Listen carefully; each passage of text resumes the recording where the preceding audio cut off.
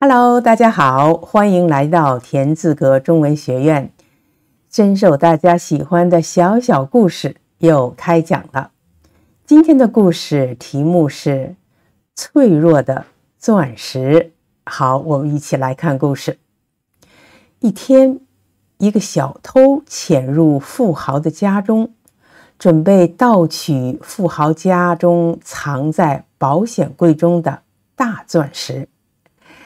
就在他将那颗璀璨的大钻石放在手上仔细观摩的时候，富豪回来了。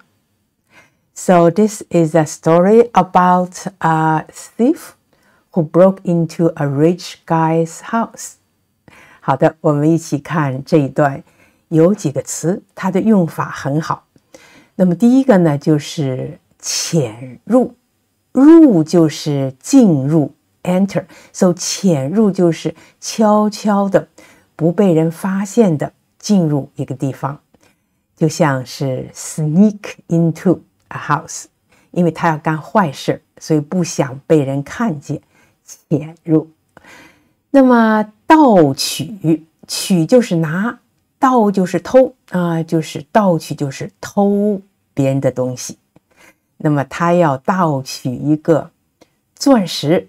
我们来看看什么样的钻石璀璨。嗯，这个形容词非常的高级，非常的好。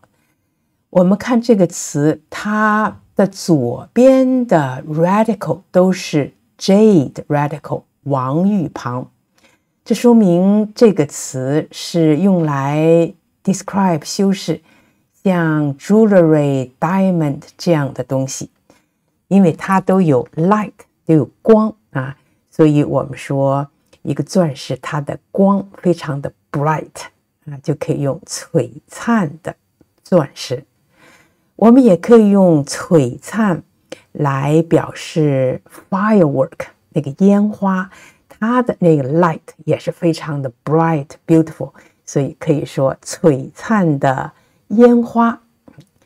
好的，下面这个词观摩。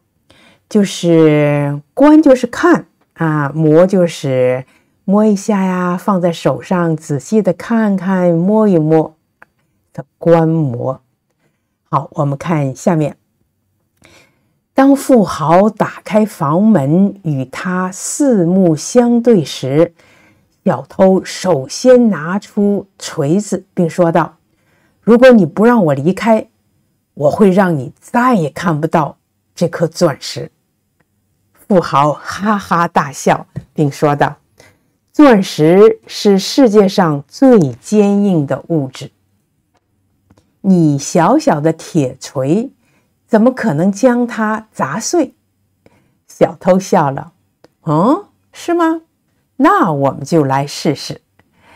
So when the thief find the owner of the house came back, they just looked into each other. And then the thief said, If you don't me let go with the diamonds, I promise you will never see this diamond again. But the rich guy said, Diamonds are the hardest thing in the world. I don't think you can break it up with that little hammer. 好的，在这段里，我们看到有这样一个词“四目相对”，这是什么意思呢？ 四就是 four 啦，对吧？目就是眼睛啦，四个眼睛，对，因为是两个人啊，富豪和小偷啊，他们 looked into each other's eyes，所以四个眼睛相互看啊，这个表达法非常的形象，非常的地道，所以你要用到这个词语，就说明你的汉语相当的高。好，我们继续。小偷迅速举起锤子，并砸向钻石，钻石瞬间四分五裂。原来，虽然钻石很坚硬，但猛烈又突然的撞击也会让它碎掉。同样，皮球虽然没有玻璃坚硬，但只要在扔的时候，力气足够大，也能把玻璃砸碎。好的，在这一段我们有一个词组啊，瞬间就是表示特别短的时间啊。我们也说一瞬间，就像是英文中 in a blink of an eye，很快的时间。还有一个词组叫四分五裂，那么分就是 split 啊，裂就是相当于 cracks 啊，都是代表 broke into pieces。那么我们还用了四五这样的数字 numbers，它是说四块或五块吗？不是，是指很多块啊，into many pieces。